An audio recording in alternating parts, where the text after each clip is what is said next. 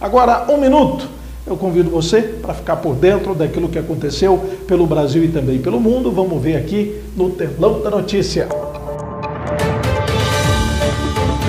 transição de governo teve mais um dia de movimentação ontem em Brasília, com reuniões sobre políticas públicas de saúde para a população negra. E também começou a tramitar no Senado Federal a proposta de emenda à Constituição, PEC, que retira do teto de gastos por quatro anos o Programa Federal de Transferência de Renda do governo eleito.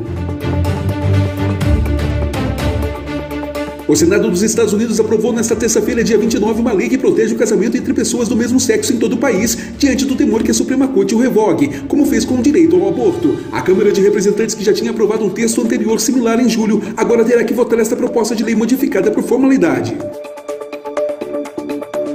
A presidente da Comissão Europeia, Ursula von der Leyen, propôs hoje a formação de um tribunal especializado para investigar e processar a guerra da Rússia contra a Ucrânia, iniciada em fevereiro. Em sua mensagem, von der Leyen acrescentou que a Rússia também deve pagar o custo financeiro pela devastação provocada na Ucrânia. O governo ucraniano elogiou a proposta da União Europeia.